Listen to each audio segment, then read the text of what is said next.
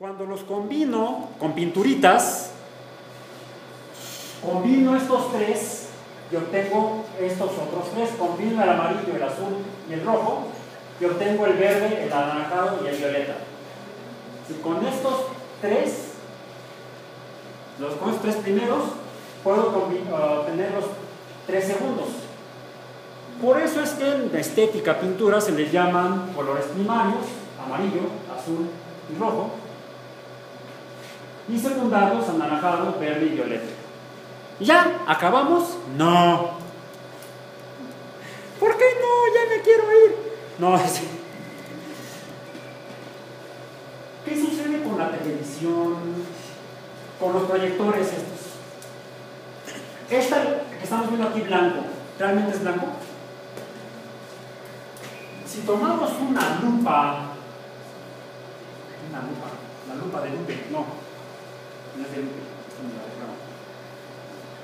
tomamos una lupa, la cual, por cierto, ¿qué es una lupa? Un lente, una lente, veis, no sé si es masculino o femenino, no me he fijado, no he revisado. ¿Qué es esto? Lo que está ahí adentro. Esto es. ¿Qué es?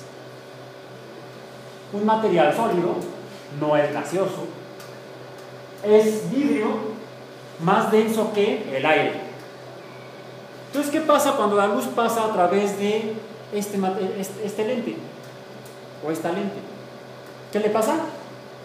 Ya lo estamos diciendo hasta el cansancio, ya, además ya nos cansamos. Descánsate un poco, ¿qué dice? Se refracta. Si se refracta quiere decir que se desvía la luz. Vean. ¿Sí se desvía? Viene de la lámpara y en lugar de que se vea una sombra nada más, ahí está una sombra de la lupa, se ve, si lo acerco, ¿qué pasa? Se está haciendo más grande el disco de luz. Es decir, como que si estuviera, la luz viniera del proyector, llega a la lupa y ya hace se desvía hacia afuera. ¿Y qué pasa cuando lo acerco? Se juntan la luz, la lámpara, hasta ahí no lo veo más porque entonces no lo vean se van a lastimar Es una luz demasiado. Todos los, todas las ondas de luz que vienen por allá, aquellas ondas de luz vienen, pasan por el prisma y todas se juntan en un punto. Todo, todas, todas, todas, como se ve tan intenso, es toda la luz que sale de ahí junta en un solo punto. La luz es energía, esta es toda esa energía acumulada en un solo punto. Luego se refleja de este objeto y llega a mis ojos y me lastima, me deja como conejito lampareado. ¿Bien? Entonces, es luz blanca. El proyector emite luz blanca, pero aquí yo estoy viendo otros colores, ya sea en el esquema de la pintura anterior,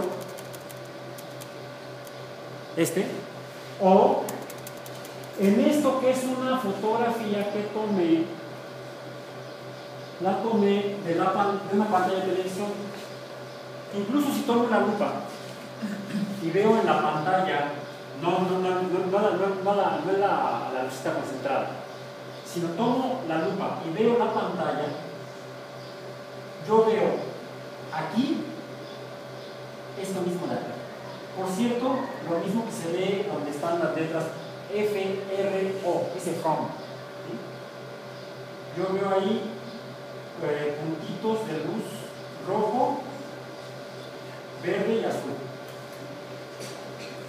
Rojo, verde y azul. Si tomamos una lupa y vemos una pantalla de televisión, que lo que está haciendo es emitir luz, es, como una lámpara. Las pantallas de televisión, las televisiones antiguas, son lámparas, emiten luz, no la reflejan. La pinturita de allá era una papel con pintura, la luz viene de otra fuente, se refleja y llega a mis ojos. En el caso de las los televisores o el proyector están emitiendo la. La luz sale detrás de la pantalla, pasa a través de la pantalla y pasa a través de estos cuadritos. Pero estos cuadritos solamente emiten luz azul, verde y rojo. Dependiendo de la luz que pasa a través de cada uno de estos cuadritos o píxeles en la pantalla de televisión, voy a ver ya sea luz blanca, o luz roja, o luz verde, o luz amarilla o amarillenta, es café, o rojizo, que es el rosa, y acá veo rojo, aquí veo amarillo, aquí veo un gato. ¿Veo un gato? No, veo partes de un gato porque la luz que está reflejando, está reflejando en el cuerpo del gato, pasa a través de otra lupa y se desvía y me llega a una figura medio amorfa. ¿sí? Yo supongo que es un gato, pero no tiene la forma de un gato. Pues sería un monstruo que no me quisiera encontrar en la noche. Bueno, ese monstruo, luego me brinca en la noche. Y en la mañana también me brinca. Eso ya lo habíamos visto, ¿no? La, esto es la. Ok.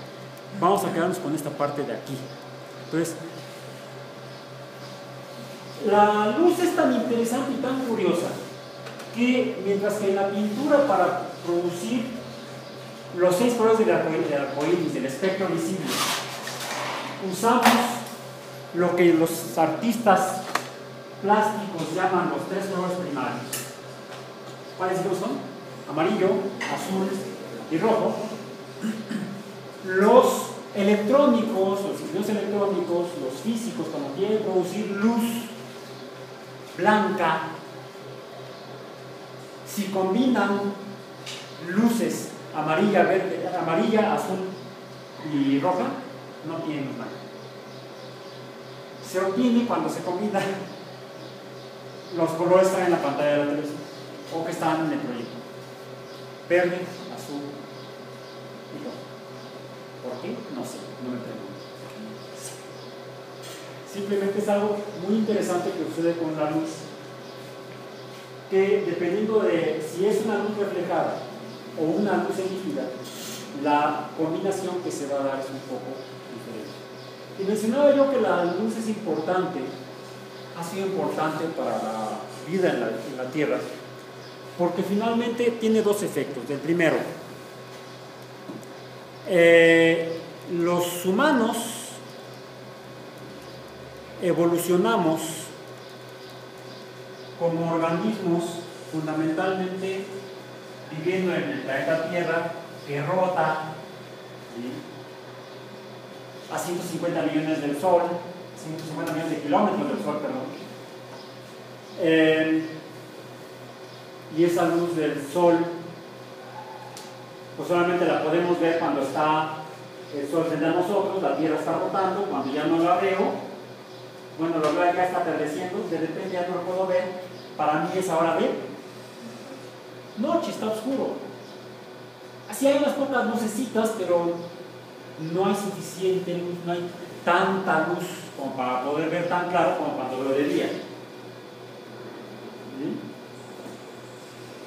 A diferencia de otros organismos, los humanos evolucionamos dependiendo de la luz somos seres diurnos, somos animales diurnos. A diferencia de, por ejemplo, muchos depredadores, como muchos felinos, que son depredadores nocturnos. Son animales de hábitos nocturnos, principalmente. De hecho, mis gatos se lo pasan durmiendo casi todo el día. Y en la noche, desafortunadamente, son muy activos. No sé si los, los convierto a ellos o me convierto yo. eh, y eso es lo que ha empujado a darle forma a los sistemas biológicos con los cuales nos enteramos del mundo. Aunque todos los ojos en los seres vivos evolucionaron a partir de células que interactuaban con la luz, que reaccionaban con la luz sus compuestos químicos, dependiendo de qué tanta luz iban a, recibir para poder interpretarla, si era mucha o era poca, los caminos evolutivos fueron un tanto diferentes. Pues aunque la estructura del ojo es muy parecida, por ejemplo, en los felinos y en los humanos, hay diferencias significativas. Si uno le ilumina un ojo a una persona con una lámpara, pues sabe, cuando mucho se ve rojo el fondo. En cambio, si uno ilumina una, con una lámpara el ojo de un gato o de un, cualquier depredador nocturno, ¿qué es lo que ve? Casi como fuera un espejo.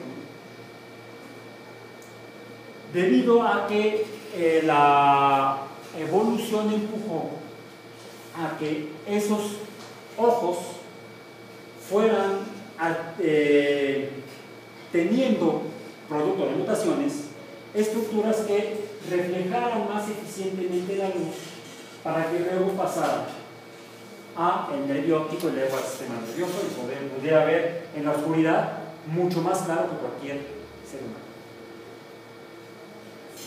Eso por un motivo. Segundo motivo por el cual la luz es importante es energía. Y esa energía de esa luz es la que hace que interactúe con la materia. Por ejemplo, que el pizarrón verde lo veamos verde, o que la luz blanca que viene de, de la lámpara los seis colores, pero solamente la luz verde rebota o es reflejada hacia mis ojos. Mi suéter rojo lo ven rojo porque la luz blanca viene y solamente la roja es reflejada hacia sus ojos. ¿Qué pasa con los otros cinco colores de luz? ¿Qué pasa con esos cinco colores de luz? Vienen de allá, de la luz, de la fuente blanca, de luz blanca. No es blanca, son los seis colores. Aquí llegan los seis y solamente rebota o se refleja el verde. Acá solamente se refleja el rojo. En un objeto azul solamente se refleja el azul. Y así las combinaciones correspondientes.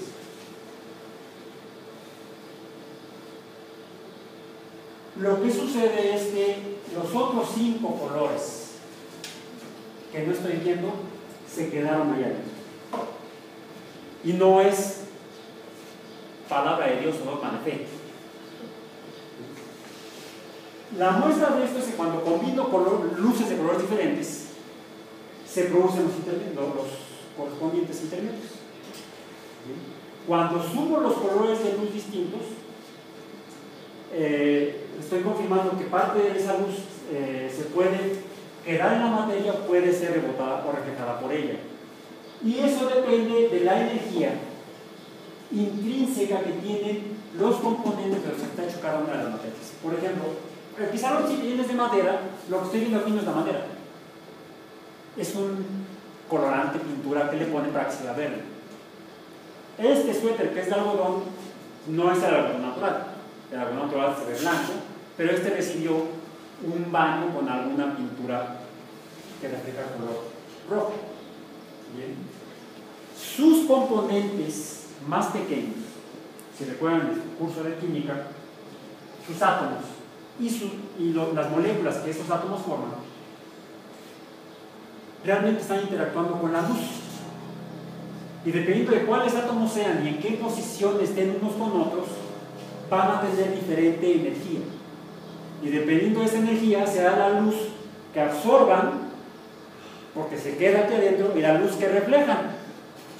Entonces yo puedo caracterizar a cada objeto por la luz que refleja y por la luz que absorbe casi siempre son recíprocos.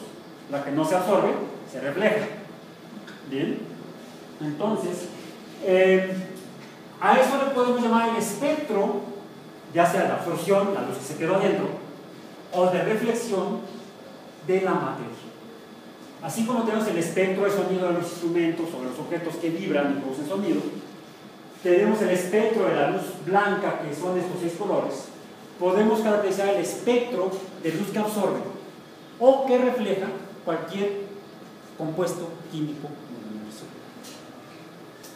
Y es por eso que, aún estando a 150 millones de kilómetros del Sol, podemos saber de qué está hecho el Sol. Porque si bien la luz que vemos que emite es blanca y cuando la descomponemos a través de un prisma vemos estos seis colores, con mayor detalle vamos a encontrar que la luz del sol, cuando se descompone, no es exactamente como la vemos en el prisma, o más bien saliendo del prisma donde la sino que de hecho es, lo que vemos es o esto o esto. Acá siempre vemos, vayan esto acá. ¿Qué es eso? Es el espectro de emisión de luz de, en este caso, eso. Y en este caso son de diferentes elementos químicos. Déjenme decir, porque ahí no se ve muy bien. Si lo que emite luz, porque algo le pasó, lo vamos a ver más adelante, eh, por ejemplo, el filamento de una lámpara incandescente como las que inventó mi tío, sí, mi tío fue que inventó la lámpara incandescente. ¿Quién inventó la lámpara incandescente? Tomás Alba Edison. Cuando dicen la familia que era tío, no, no, no me consta y alguien, ay, qué orgullo, pues no sé, el tipo era un pirata. Sí, inventó muchas cosas, fueron, originales de él, que otras se las voló. Era un pirata. no sé, es señor, a quien no conozco, no, bueno, no es la historia, nadie es perfecto. Eh, lo que hizo fue, lo que logró fue que eh, un hilito o filamento de tungsteno, un metal, se calentara tanto que emitiera luz. Y ese fue uno de sus más brillantes, sí, emitía luz, inventos, de los más geniales inventos. Además de tungsteno, provocó muchos otros elementos químicos.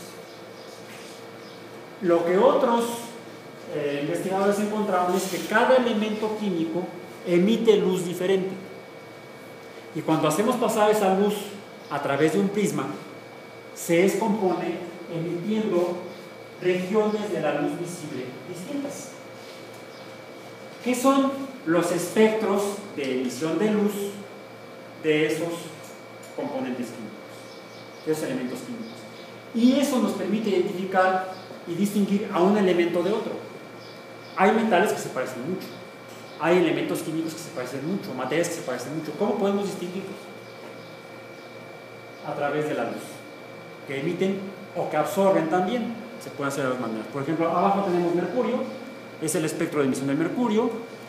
El que sigue es, este, el espectro del helio. El siguiente para arriba es el espectro del hidrógeno. Y no, perdón, me equivoqué. El de abajo es el uranio. Pasa que como no se está muy, muy, de muy baja resolución la imagen. Abajo es uranio. Este es uranio.